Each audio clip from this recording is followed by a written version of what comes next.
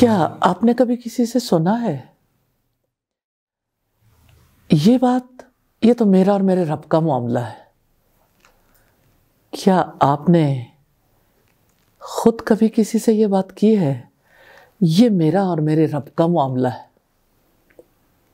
बंदा चाहता है उसका और उसके रब ही का मामला लेकिन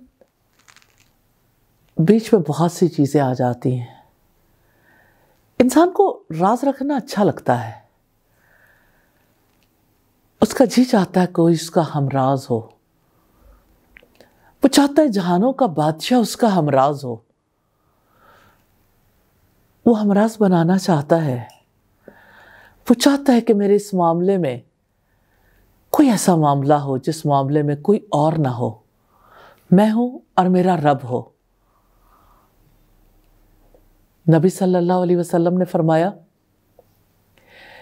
इब्ने आदम का हर अमल उसके लिए है और रोज़ा मेरे लिए है, मैं ही उसकी जजा दूँगा। यह हदीस कुदसी है कि बंदा अमल करता है, लेकिन उसका एक अमल है जो उसके और उसके रब के दरमियान राज है।